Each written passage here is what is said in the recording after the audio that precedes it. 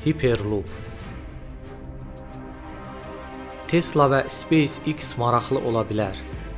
Amma əminik ki, Elon Muskın nəqliyyat planları da elə təsir edicidir.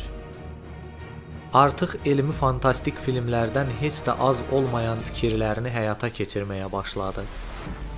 Hyperloop kapsulu ilə 6 saatlıq məsafəni yalnız 30 dəqiqəyə endirməyi planlaşdırır. Bu təxminən 2.5 dəqiqə ərzində 48 kilometr deməkdir. Maliyyətə nəzər yetirdikdə mövcud sürət qatarlarına nisbətən daha sürətli və daha ucuz olduğunu söyləyə bilərik. Tikildikdə dünyanın ən sürətli nəqliyyat növü olacaq. Hava yolları ikinci yeri tutacaq. İndiki sərnişin təyyarələri orta hesabla 925 km sürətlə hərəkət edir. Hyperloop bu sürətdən təxminən 3 qat daha sürətli olacaq. Bu səbəbdən Hyperloopun hava yolu sənayesinə böyük təsir göstərəcəyi gözlənilir. Bu barədə düşünəndə inanmaq çətindir.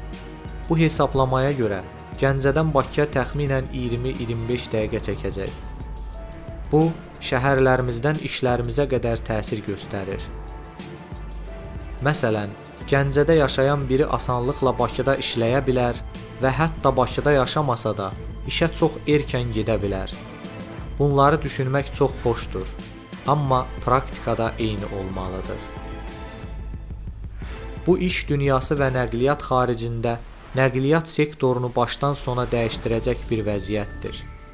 Bu o deməkdir ki, Amerikadan, Yaponiyadan, açıq-aşkar dünyanın hər yerindən aldığınız bir məhsul eyni gündə evinizə gəlir. Şirkətlər üçün istehsal və paylama baxımından bunu daha səmərəli və sürətli edir. Elon Musk dünyanı dəyişdirməyə davam edir.